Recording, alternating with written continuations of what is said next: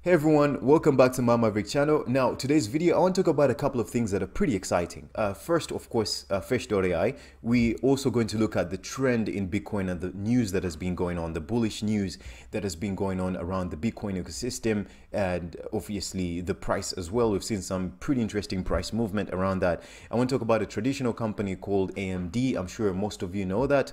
And um, one, everyone should be looking at AMD to be honest. And uh, the other company is obviously Synthetix uh, not synthetics in crypto space, but the whole idea of synthetics. And I'll just pinpoint about one company, which is FTX. So, but of course, you know, you know, you have to watch out for FTX, synthetics, and of course, Mettalex, but that's uh, it goes into derivatives, uh, longing and shorting, not necessarily buying the actual commodity itself. So that's why um, I'm talking about FTX as opposed to the others because they have their own different use cases. So let's so we know Fetch.ai. So those that are new to the Fetch.ai ecosystem, essentially this is a artificial intelligence lab based in Cambridge University that's building a product and it has partnered with very strategic partnerships like Bosch Global, um, which is you know very it's it's a multi-billion dollar company that's really embedded within technology, very innovative and very forward-looking. Everyone knows Bosch Global. Um, then there's Festo, which is a very uh, very it, it's a it's a company that's been around for a very long time but they're very forward thinking in terms of what they're manufacturing automated manufacturing and they do a lot of manufacturing for other huge conglomerates other huge companies out there but they're not public i don't think they're publicly li listed. So they're not very known out there and yet it's one of those companies where if people knew about it and if it was publicly listed then a lot of people would be buying up their shares because of the type of technology they deal with. So we've seen those two partnerships with we've seen the partnership with BigchainDB, uh, which is uh,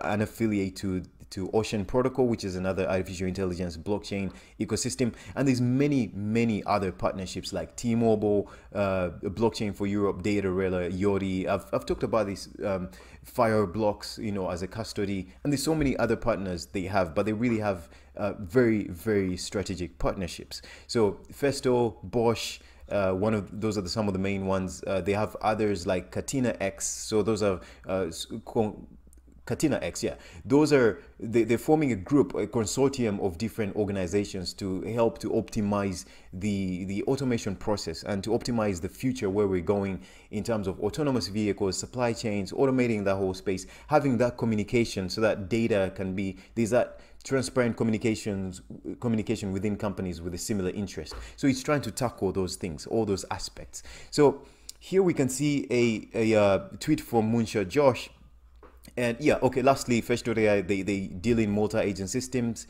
and they uh, they they're really going into a technology which is known as autonomous economic agents, which are uh, essentially digital assistants that do work on behalf of their owners autonomously in a dynamic environment and in a dynamic way. Uh, so here we can see a, a tweet from Moonshot Josh. FET is on Coinbase. It's a number one mover on Coinbase. Not surprised whatsoever, 100%. People are finally waking up to FET. So essentially saying people recognizing FET, and of course it's very it's it's very exciting and congratulations uh, to the to, to the FET team for having been able to get listed on Coinbase. That's it's it, brings a lot of attention to the FET ecosystem and as well as adding some bit of legitimacy to the project and what they're doing. So it means it's being looked at as one of those projects that could potentially emerge eventually as one of the success stories from this crypto this whole crypto madness. We can see another tweet here from the Lion of Wall Street, uh, chart analysis. There are two possible scenarios for the next pump. One thing is for sure, that chart looks so squeezed and breakout is imminent. I'm going to bet that it's gonna go up. It has to break at least 43 cents uh, and then we'll get back and then we'll get back, I think that's what I want to say, to 70 cents struck. Uh, August, September, FET looks tasty. So that's, those are some bullish tweets from uh, some of the most active community members within the Fetch community, within within the Fetch ecosystem. And so let's let's read this article. This is a pretty interesting article. Now, if you've been watching many of my videos or you've been following cryptocurrency news and what's going on, then you should be able to pick up a lot from what's going what's going on in this short article. So Golden Tree Asset Management is reportedly investing in Bitcoin. I actually talked about this yesterday. At least three executives at the $45 billion farm have participated in a funding round for the blockchain-focused VC group Borderless Capital. New York based asset management firm Golden Tree has reportedly uh, added Bitcoin to its balance sheet, though the amount of this supposed investment remains unknown. According to a Friday report from financial news outlet The Street, the firm with roughly 45 billion in assets under management has purchased some Bitcoin but has seemingly shied away from other cryptocurrency investments. So citing two sources with knowledge of the matter, the publication reported the BTC purchase followed discussions behind executives between executives regarding hiring staffers familiar with crypto investments. Executives at the firm, including founder Steven Tananbaum and partners Deeb Salim and Joseph Naggar, invested in a funding round this month for Borderless Capital, which previously helped launch an accelerator program from Algorand. Clues uh, Borderless also participated in a funding round for the Coinbase-backed digital asset securities, Securitize. So, other assets management firms have begun to delve into the crypto space as well, either through direct investments or by offering investment vehicles for Bitcoin and other tokens. So, last week, Stoneridge Asset Management uh, filed a prospectus with the US Securities and Exchange Commission, the SEC. We all know the SEC to add BTC to its open-end mutual fund. On Wednesday, contrarian investment firm Horizon Kinetics uh, advised investors to, to seek exposure to crypto assets to protect themselves against cryptocurrency against currency debasement. So we're looking at a lot of huge money, the so-called smart money, institutional money, paying attention to the cryptocurrency space. They always first get lured in with Bitcoin, then they eventually slowly venture out into other cryptocurrencies because it's risky stuff, but you know, it's a new emerging asset class. So we here I'm not going to read this article, but I'm just going to you know read out the, these companies and what they are to bring to light what these companies are. Five largest regulated US digital asset managers hold over 46 billion of cryptocurrencies. So we have Grayscale Investment. You all know Grayscale Investment with their uh, ETF fund. They're trying to really get into that. Uh, Pantera Capital uh, one of the VCs that has invested so much money in other so many crypto projects, Bitwise Asset Management, Galaxy Digital by Mike Novogratz, Wave Financial Ranking. So these are companies that have invested a ton tons of money, billions and millions of dollars within the cryptocurrency space. So the idea of this is that if these people are paying attention to this space, there's you could say there's some level of legitimacy that has been built around the crypto, cryptocurrency ecosystem. Then German, there's a lot of companies within German and a lot of partners who've been following Fetch.ai within the German ecosystem. They're the ones forming all these consortiums. That's I think Catena X is also based in German. I think, uh, though uh, Fetch.ai is a, a, British company, so maybe it's both. It's a European thing. But there's also things like uh, Gaia X as well, and there's other you know consortiums that we've been seeing emerging from the European diaspora uh, where all these companies that have an interest in the traditional crypto space are emerging. So German institutional funds, which is I think it's called uh, special funds, special funds will be able to invest hundreds of billions of euros in crypto starting from next week. And I think I read another article which was saying that uh, soon the the whatever agency or the, the German government is going to allow uh, institutions to invest up to 20% of their capital uh, within the cryptocurrency space. So, guys, pay attention. There's a lot of interest, there's a lot of money. Uh, follow the money always. Uh, I mean, this is where things are going. We're going to see a whole new type of investment investment class a whole new type of interest and all this money flowing within the cryptocurrency space is going to lead to a whole new type of innovation and we're going to see things that we never even imagined before so Let's talk about AMD a little bit. I haven't looked into AMD a lot, but I've researched it for a couple of months. It's just that I'm not going to talk about their quarterly statements, but I know it was probably profitable because they, have been, uh, we've seen Lisa Su, who's the CEO of AMD. She's been interviewed. And guys, in the cryptocurrency space, you're looking at Bitcoin, people are bullish about Ethereum, some people are bullish about XRP, we are bullish about Fetch.ai because we're looking at the technology and the companies that are building and doing things. In the traditional world, you have to look at AMD.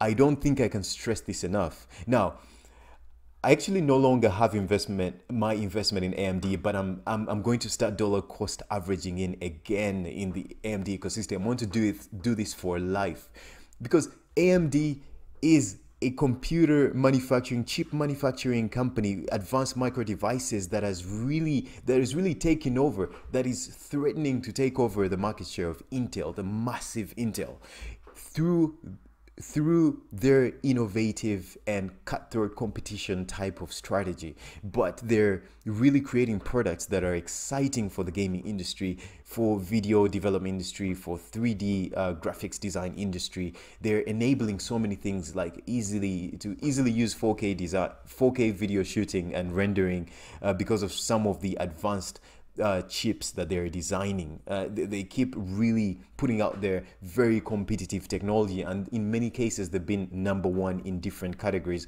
when it comes to really optimizing power within uh, laptops, PCs, and AMD is really, really exciting in the sense that they're they're really venturing out in many, many fields. We knew uh, some some months back that AMD had this acquisition of Xilinx, which is a, a, great deal. So essentially what Xilinx is, it's that it's another, it's a leading designer of field programmable gate arrays. And they've been reporting quite positive, positive numbers in the past couple of years. And it's one of, one of those, one of those acquisitions that AMD really, it was a very strategic acquisition, which will be really good for AMD. They did this quite a, uh, quite some months back.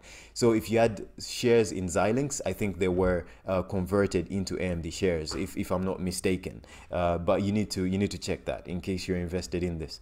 So we know that AMD is their chips are embedded in PS5 which is the, the biggest and Xbox which are the two biggest gaming uh, instruments uh, out there in the world, uh, you know, uh, specifically designed for the purpose of gaming. Gaming, and we know that you know, with their Zen 3 CPUs and RDNA GPUs, so they'll ship on time within these devices. So we know there's this partnership of AMD with these with the biggest gaming uh, gaming consoles in the world uh, we know that we can also see Microsoft is supporting AMD's answer to DLSS on the Xbox consoles. So DLSS is something I think it's going to help with ray tracing. I think we it's deep learning super sampling, and it's an early test to. Uh, and early tests have shown it's a promising technology that will work across multiple games and platforms. So this is something that could be tested by a, you know a test that goes on between AMD and Xbox, but eventually it could be a technology that's then used in other gaming platforms as well. So really really exciting stuff around AMD. Then AMD confirms it's powering the gaming rig inside Tesla's Model S and Model X that speaks for itself. In terms of futuristic automotive technology in terms of you know uh, really embedding themselves in in the future future manufacturing and where things are going to go transportation. We know tesla is one of those companies uh, space exploration. So amd to have struck a deal with tesla is pretty pretty amazing. It adds a tremendous amount of legitimacy. Uh, AMD already has a ton of respect from the gaming industry and from the computer industry. So it's one of those companies you have to look at. And not to mention that their price has had a sudden bullish movement in the past couple of uh, years or since last year. And also, uh, well, actually beyond last year, way before last year. And also the past couple of weeks, it has had a bullish movement in their price.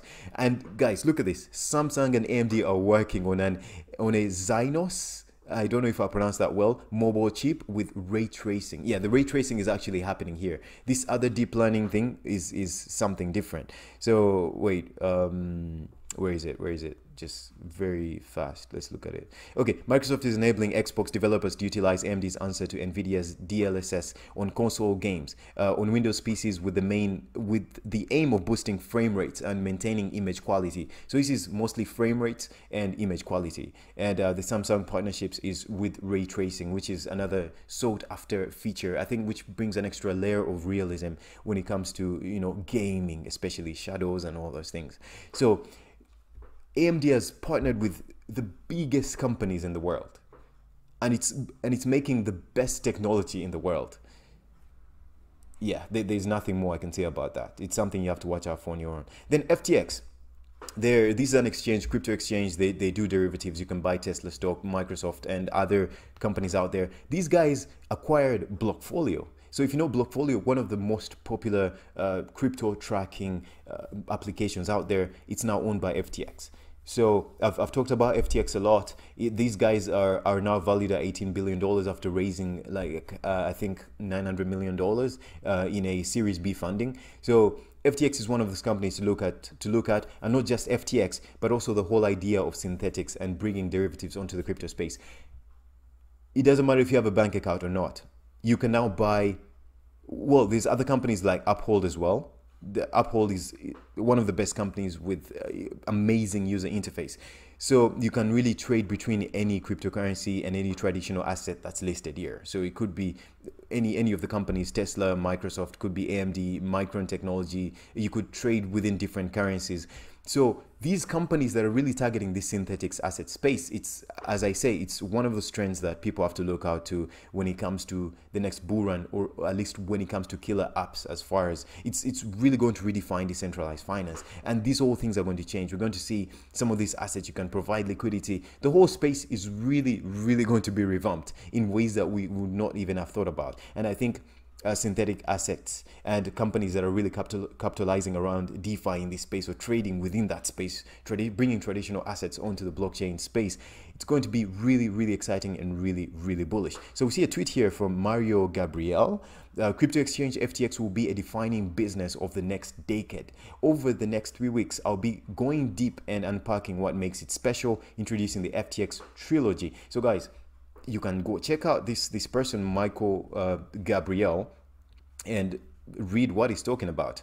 Know more about ftx and the whole idea of synthetics. Try to learn what is going on. We're looking at the trends. We're trying to see that we're trying to see where this space is going uh, technologically not just financially but we're interested in seeing the financial the, the the technological aspects of cryptocurrencies and what they're going to do uh, how they're going to affect the rest of the world, affect the rest of the world with the effect they're going to bring.